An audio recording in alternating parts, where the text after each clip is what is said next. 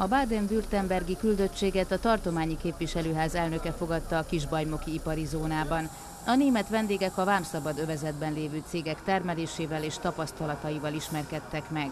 Örömmel tudom megállapítani, hogy ezek a tapasztalatok pozitívak, nem csak a termelés vonatkozásában, hanem az itteni fogadtatás tekintetében, és az is fontos, hogy nem csak a termelésről beszélnek már, hanem arról is, hogy esetleg fejlesztési központokat lehet itt a gyárakon belül kiépíteni. Az 53 hektáros ipari zónából 44 hektár tartozik a vámszabad övezethez.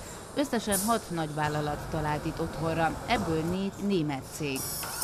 Also zunächst einmal möchte ich all denjenigen, die die Initiative ergriffen haben, diese Freihandelszone hier einzurichten, meinen Glückwunsch und Respekt aussprechen. Sie haben damals eine sehr weitsichtige Entscheidung gefällt.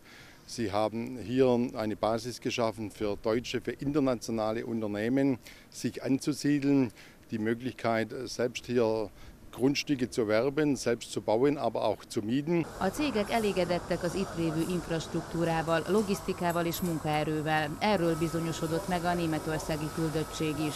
Mi készek vagyunk az új beruházásokra azért, mert a városi, városi tulajdonban vannak a földek, ami nagyon fontos ilyen beruházás, invitálás esetén, meg ami a még második fontos dolog az, hogy infrastruktúrálisan ki vannak építve. Jelenleg a terület kétharmada foglalt, úgyhogy van még hely új beruházók számára.